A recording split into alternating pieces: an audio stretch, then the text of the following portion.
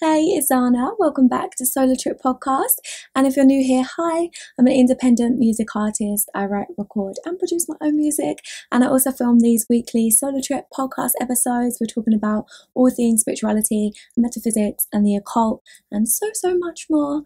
And for this video, because of the recent times, which I'm very sure that you are aware of, I wanted to kind of share my perspective a little bit on what's going on right now. But I do want to put this disclaimer, as always, that like this is literally just my perception. I'm not here to debate you. I do not care. This is not like some kind of like he is right and she is wrong and bloody fucking blah. Like this is just me sharing my perspective and you can take whatever resonates and leave whatever doesn't, you know, because I feel like none of us really know for certain. We just kind of research and figure things out for ourselves, you know. So, yeah, I really don't care to debate you about what is right and what is wrong because who gives a fuck? But anyway, so for this video, we're going to talk about the coronavirus and the pandemic type panicky situation and everything that's been going on. Because even though, like, this year is 2020, so I knew, and a lot of people in the spiritual community that like post videos and stuff and really talk about this type of area of life, a lot of people are aware that something was going to happen this year or something like crazy and big is going to go down, especially if you look astrologically at what's going on. I'm not an astrologer, so I don't know like the exact aspects and all of that kind of stuff of what's happening, but I do know that this is supposed to be a big year where like crazy things happen. But then when it started happening, it still kind of took me by surprise in a way. It was still a bit like, oh, so this is what it is. Like, this is the direction we're going to go in. Okay, then, sort of thing. And I did start to feel a little bit of like anxiety and a bit, I guess it's kind of uncertainty, isn't it? That makes you feel a bit, oh, like, what the fuck is this? Even though I knew that it was going to be okay and that it was like something that's supposed to happen and all of that kind of stuff, it still made me feel a bit like, oh shit, what is this? but then as I've started looking further into it, I realized obviously there's an agenda behind it. And I mean, we could go down a whole rabbit hole of why they've done it, who did it, what it's for, like what other things they're doing while you're distracted by this thing. You know, there's always so many layers to this shit. And I feel like no matter how much research you do, you can never really know 100% exactly what it is, but you can have an idea and like have your own perspective, you know, and then look at like numerology and the different symbolism that goes on in Hollywood and stuff, and you can kind of create a whole picture and put like put the puzzle pieces together. That was the phrase I was looking for.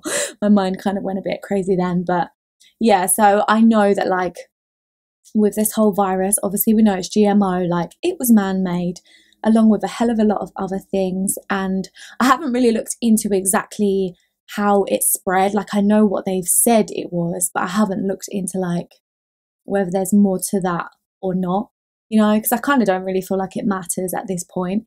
The whole like fact that it's even happening, you know, I feel like that's more important. So obviously, there's like 5G towers, there's the whole integration of AI and like machines and robots and that kind of thing. Like, I know there's a whole fucking agenda behind this. And when you think about that agenda, it really does make you start to feel a lot of fear and start to feel like you're powerless. Like, where's my power then if these people have this much money? They have all of the like weapons and all of everything. If they can control like the electricity that we have in our houses and stuff like that, then where's our power, you know? And I did start to kind of, I don't want to say spiral because I feel like I stopped it before it got to that point, but it could have potentially started to spiral into like all of these negative thoughts and panicking and like what the fuck's going to happen? How can we figure this out? And all of that kind of stuff. You know, it's very easy to fall down that trap.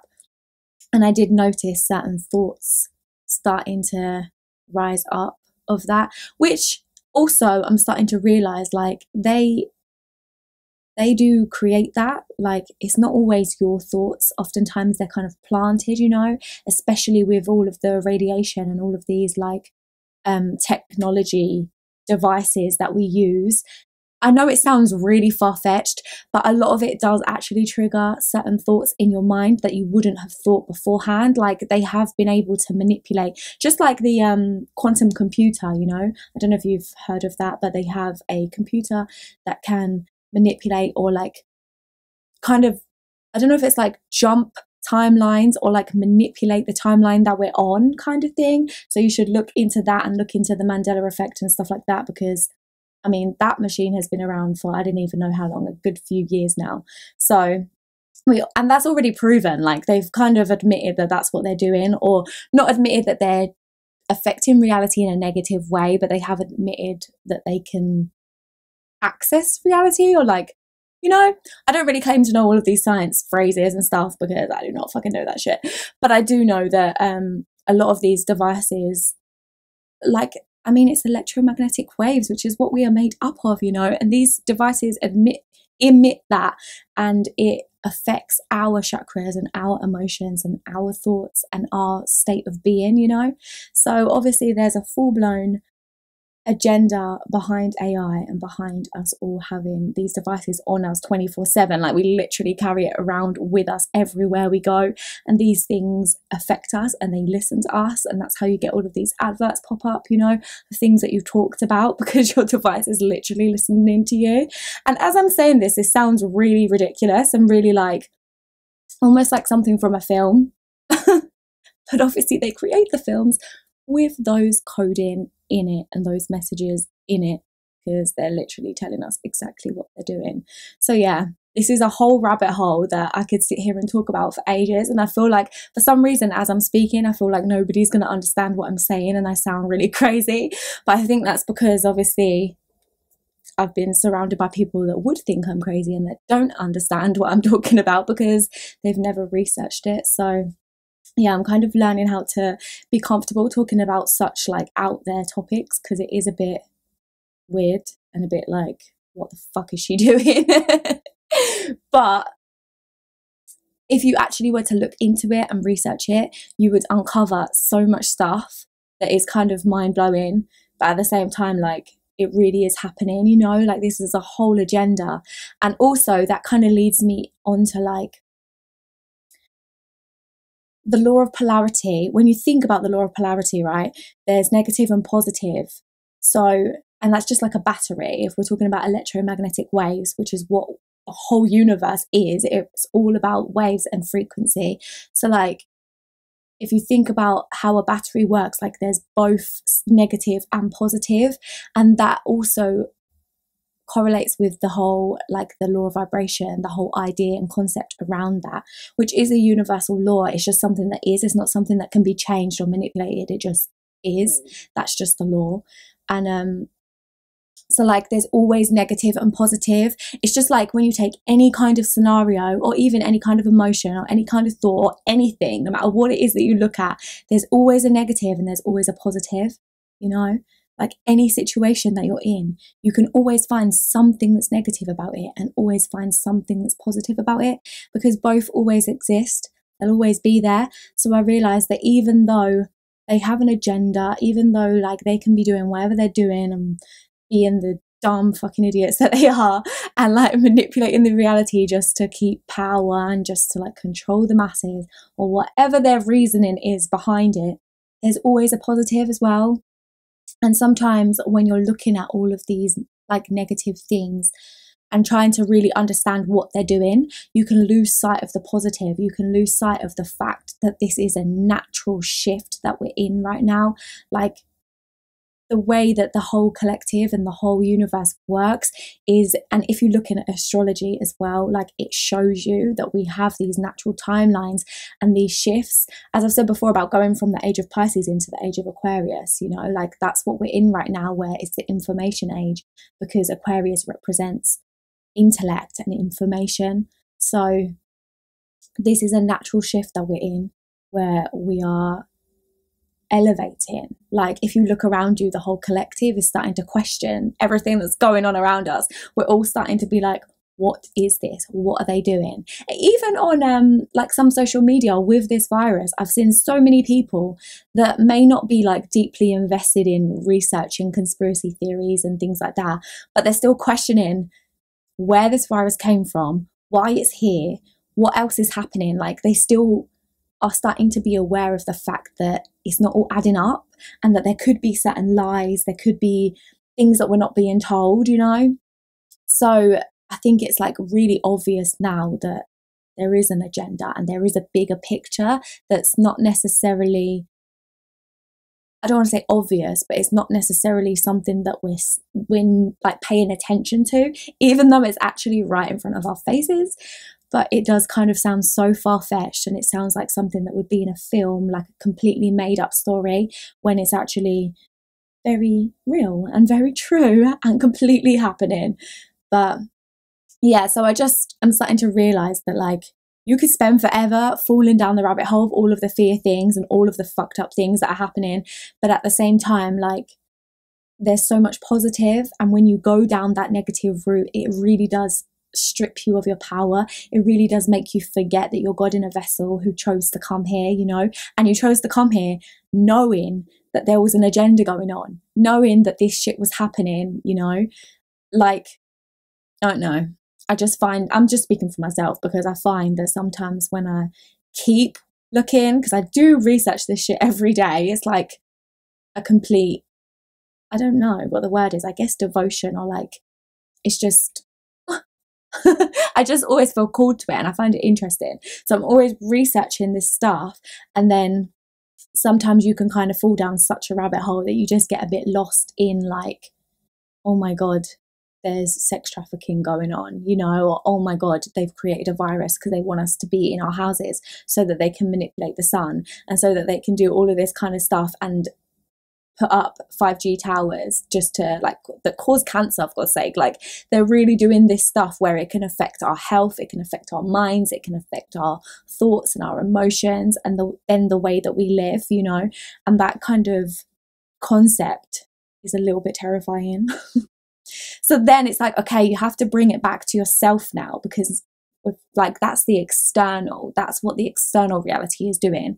But if the external reality reflects your internal then it's like okay we need to now bring it back to ourselves. What can we do you know like and obviously that's a perspective shift like the what can we do question is answered by a perspective shift. So you bring it back to yourself and this is just my own process this is what i'm having to do so that i don't sit there panicking and then people keep like panic buying and stuff and acting all crazy and being selfish when it's because they're fearing the external without realizing that it starts internally first. So you have to bring it back to yourself and find your power and be like, okay, I'm God in a vessel, you know? What is it that they're externally trying to affect internally? Because all of their external manipulation, all of the stuff that they're doing is actually in order to affect you internally. Like that's the whole point, you know? Because they're not inside of you. They're, although they technically are, but they're not um they're not physically inside of you. Like they can't sit there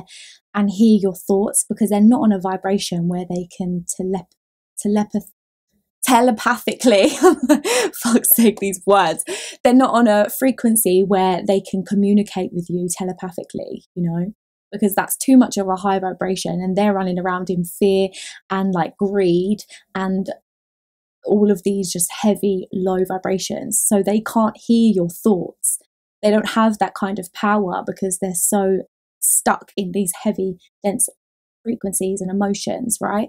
So if they're like, if they're wanting to manipulate you, but yet they're coming from such a low vibration, then they have to use external physical things like technology to manipulate you and to control you because they can't get inside of your mind any other way, you know? So it's like if they have to do that externally, then that means that the internal is what matters and you have control over your internal being, like your whole body, your whole mind, everything, you know. They can do all of the external manipulation that they want, but if you're in your power, if you are aware of yourself and aware of your mind and aware of who you are and aware of your vibration, then whatever they do will not affect you you know, because that internal is way more powerful than the external. Like it starts internally first, you know, and then the external is a reflection of that. So I realized that like my vibration, what I'm thinking, what I'm doing, that matters more than what they're doing and what they're thinking and why they're doing what they're doing, you know?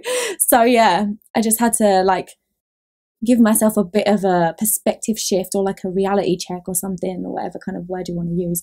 I had to like check myself a little bit and then yeah, just kind of remember your power because, yeah, they can be doing all of this. And even if you believe that this virus could affect you, like, even if you even if you're fearing the actual virus itself and you're not even thinking about like their agenda or any of that shit, the only way that it can affect you is if you allow it. And I know that can sound kind of weird to some people, but like if the mind creates everything the mind determines your frequency and your frequency then determines your external reality. So that means that if you're panicking, if you're in fear, if you're stressing, if you're worrying, if you're like keeping yourself stuck in that vibration, then you're going to be a match to everything else that's on that vibration, including them, those, whatever you want to call them, that are doing this you know you're going to be a match to them. So then they can manipulate you because you're on a complete vibrational alignment with them and their agenda and the fear-based things that they're pushing you know?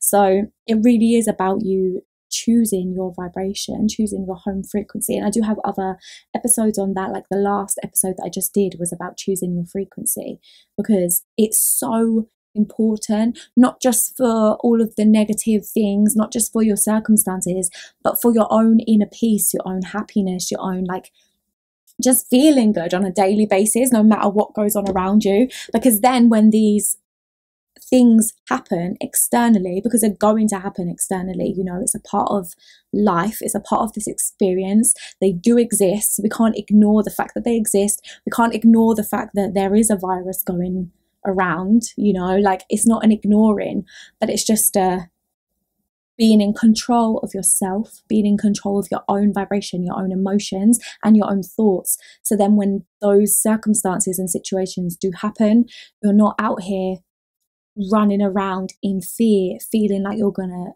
get it, or feeling like you're gonna attract it, or like feeling like you have nowhere to turn or no way out, you know? You'll be in your power and then logical like intu and intuitive solutions and ideas will come to you. Because it won't be out of panic or fear. It will be like you'll literally receive downloads from your higher self or from source or whatever word you want to use. You'll receive those downloads because it's the aspect of you that's not restricted by space and time you know? It's not restricted by the vessel, by the five senses, it already sees the bigger picture because it's the aspect of you that hasn't incarnated, you know? So it already knows your life, it knows everything that's going to happen, and you can receive downloads just by tapping into that part of yourself, just by being open to it, by literally raising your vibration and not being in fear. You can then access that part of yourself. And that's how you get these ideas of like, you know, when somebody like gets that feeling where they shouldn't go outside today or like they shouldn't drive today or they they should stay home or they shouldn't get on that bus or you know when you get that kind of thought that comes in your head or that feeling that comes in your I was going to say in your head but that feeling that like takes over your body and then you find out later on that it was a good thing that you didn't do that and it was a good thing that that thought came in your head because something dangerous happened or something bad happened you know? Like that is a download. That's exactly what it is. It's just is information coming into you from other aspects of yourself or like parts of yourself that you're not even aware are there, you know? I don't really know how to word this, but I feel like that's like a good example of something that we all have probably experienced, you know, and you can't really explain it. You don't know where you got that thought from, but it just came up and you felt like you needed to follow it, you know. And then other times we don't follow it and then we get in shit situations and we're like, I knew this was going to happen. Why didn't I listen to myself before, you know? And that is literally just a download from the part of yourself because it's not external, it's a part of yourself that knows so it warned you. and it's just a case of listening, you know? So yeah, I just realized how much this whole experience and this whole life is really about getting in tune with yourself. And I never understood how important that was until recently, especially with this situation going on right now. It's just so important to really like just be comfortable with yourself and hear yourself and trust yourself and take care of yourself, you know, really taking care of yourself and tuning in to what you're thinking and feeling. And then being able to adjust it yourself without somebody else manipulating that for you, you know, without getting triggered by something and then reacting. You're choosing to sit with that trigger, understand that trigger, acknowledge that trigger, and then respond how you want rather than just like a knee jerk reaction, you know? So, yeah, we're kind of in a bit of a crazy time right now, but I do understand that it is a natural shift and this is a part of the collective weight awakening. We have to go through this, otherwise, it wouldn't be happening. So, even though it is a little bit scary and it is very uncertain and a bit weird, and like, what else have they got planned then if they're going to do this? You know, how long is this going to go on for? We don't know. But what you can do is take care of yourself. What you can do is a, is be aware of what's going on externally, but most importantly, be aware of what's going on internally and utilize all of your spiritual practices, you know, meditation and just like training your mind and your body to be calm, but training yourself to just sit with whatever comes up as well, you know? So I definitely think you should check out my last episode on choosing your home frequency because I did share my whole process of how I tune into myself and decide how I want to feel and what I want to think, you know. So it's a really powerful video. But yeah, I hope you are doing well. I know it is a really crazy time right now, and a lot of people are like so uncertain and stressing and everything. But seriously, I just wanted to make this video because I don't normally talk about like the full on things of what's happening in the world currently, but I felt like this was necessary just to put this message out there and be like, don't panic. Like, it is going to be okay, you know, it is going to be fine. This will pass. I know that people obviously get affected and a lot of people have got sick and things like that, but like it's going to be okay, you know, like it really will. And it's going to get better and we are going to come out the other side of it. We're all elevating. And I know this sounds kind of a bit morbid and everything, but like even when people do pass over, it means it's their time you know and also energy doesn't die like they're not actually leaving they still exist their soul still lives on and i know that that sounds really weird but it is the truth so I don't think that it should be something that we fear. It should be something that we like it puts things into perspective of the whole system and the way that like the school system works, the economic system works. It should really be like us questioning all of those things and deciding how we actually want them to be, like how we want to change them, you know? Because if the whole collective was to like really do that and start to think about a better way, we could manifest that, like we could bring that into existence through our thoughts and through our minds. So I don't know. I just think it's important to realize that we have way more power than what you think. Well, what you think is your power. I feel like everything just strips your power away so bad. And I'm starting to become more and more aware of it as I'm noticing it happening to myself. That there's just so many things that go on that really make you feel helpless and like you have no control over it. But if our minds create everything, then that means our thoughts create everything, our emotions create everything. And that means that, like, if you're sitting there focusing on the negative and on the fear, then it's going to keep like magnifying that and making it bigger and building it up bigger. But if we all to it, like, if all of us were to shift that to let me nourish my body, let me take care of myself, let me meditate and sit with my emotions and start to move my emotions. Let me do EFT to like work through the fear that I'm feeling and start to move that through my body so that it's not trapped.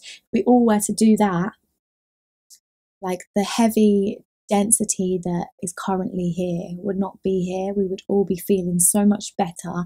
We would be less panicking. We would be less fearful.